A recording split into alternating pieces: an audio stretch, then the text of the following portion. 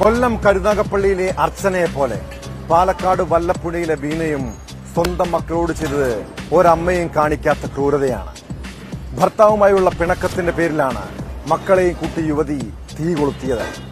വല്ലപ്പുഴ സ്വദേശി പ്രദീപിന്റെ ഭാര്യ ബീനയെ പൊള്ളലേറ്റ് മരിച്ച നിലയിലാണ് കണ്ടെത്തിയത്. ഗുരുതരമായി പൊള്ളലേറ്റ മകൾ ശിഖിയുടെ മരണവും പിന്നാലെ സംഭവിച്ചു.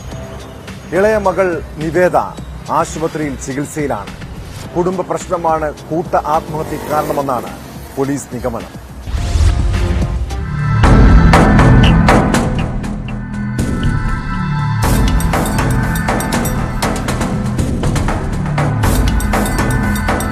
ഞായറാഴ്ച പുലർച്ചെയായിരുന്നു നാടിനെ നടുക്കിയ സംഭവം. പ്രദീപിന്റെ മാതാപിതാക്കൾ മാത്രമാണ് സംഭവ സമയത്ത് വീട്ടിലുണ്ടായിരുന്നത്. കിടപ്പുമുറിയിൽ നിന്ന് നിലവിളി കേട്ട് വീട്ടുകാർ ചെന്നപ്പോഴാണ് സംഭവം അറിയുന്നത്. മുറിയുടെ വാതിൽ അകത്തുനിന്ന് പൂട്ടിയ നിലയിലായിരുന്നു. അയൽക്കാരെത്തി വാതിൽ പൊളിച്ച് അകത്തു കടന്നാണ് മൂന്നുപേരെയും ആശുപത്രിയിലെത്തിച്ചത്. അപ്പോഴേക്കും ബീന മരിച്ചിരുന്നു. തൃശൂർ മെഡിക്കൽ കോളേജ് ആശുപത്രിയിൽ ചികിത്സയിലിരിക്കെയാണ് മൂത്ത മകൾ പന്ത്രണ്ടുകാരി ശിഖ മരിച്ചത്. ശിഖയ്ക്ക് തൊണ്ണൂറ് ശതമാനം പൊള്ളലേറ്റിരുന്നു. ഇളയ മകൾ ആറു വയസ്സുകാരി നിവേദ ചികിത്സയിലാണ്.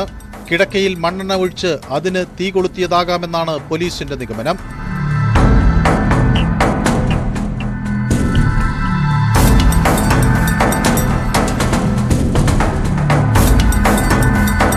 പ്രദീപ് കണ്ണൂരിൽ കാർപ്പന്ററാണ്.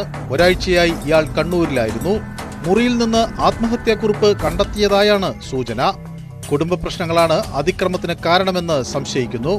പട്ടാമ്പി പോലീസ് കേസെടുത്ത് അന്വേഷണം തുടങ്ങി.